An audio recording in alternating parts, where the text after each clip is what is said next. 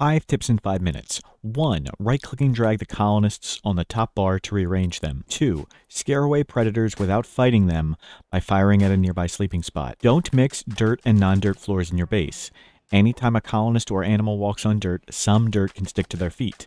Anytime that pawn then walks on non dirt floor, the dirt can fall off. Concrete's just fine. Draft the Doctor and force tend to save people in the field. Even works on enemies. Unforbid everything at any time by right clicking the Allow tool. Great for the start of the game or finding Rimkill the Butcher. Be aware it does unforbid rotten old corpses. Zoom out and double click to find or count things. Want to see all the berries? Find a bush, zoom out, double click. How much wood is cut? Zoom out, double click. Shift key to queue up multiple orders. Select a colonist. Right click to force to cut down a tree. Hold shift, right click another's tree. Or draft a colonist, right click to move somewhere. Hold shift, right click to move somewhere else. Fire can jump every other cell. A two wide zone of non burnable flooring, like concrete, can be a fire break. Or roof two cells away. Roofing will kill all the plants and create a non burnable two wide dirt fire break. You might want three or even four wide for extra safety because silly things happen in RimWorld and items or corpses may end up in the fire break. Other faction bases restock 30 days after you visit.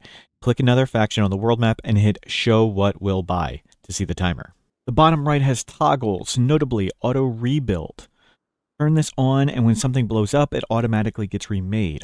Auto Home Zone. If you turn this off, you have to manually adjust your home zone, but that might be worth it. Search box. Oh, look, there's my Jade Club. Fertility overlay. Dark green equals fertile. Fertile soil grows faster. Fertile soil grows crops faster. Try to start near some fertile soil when possible. A greenhouse like this can let you grow crops year round. Roof it and turn on the heater and sun lamp in the winter. Unroof it and turn off the heater sun lamp in the summer to save power. Work tab. Manual priorities in the upper left have more control. Schedule tab. I suggest using one of these schedules. Start at the top. If one of your colonists is unhappy, set that colonist to the next schedule down on the list. If they're still unhappy, go down another one. Assign tab. You can change to auto attack here, but I suggest staying on flee. Click a medicine icon here to change a single person's medicine. Click the change defaults button at the bottom to change all the default medicines.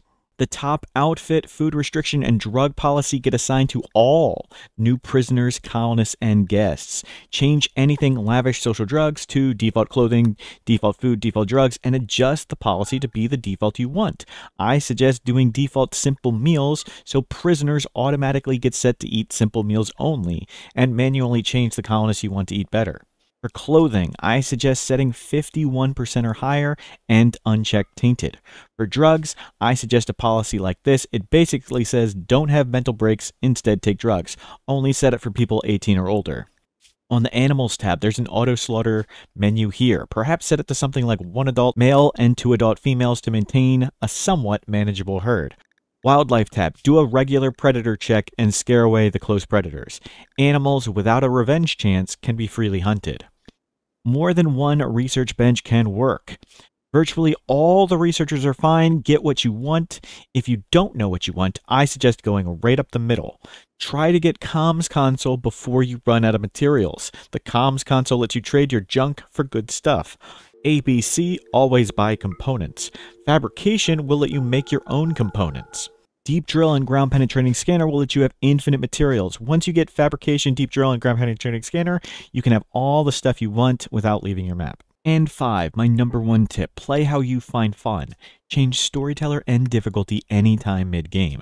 Menu, options, gameplay, storyteller setting, modify.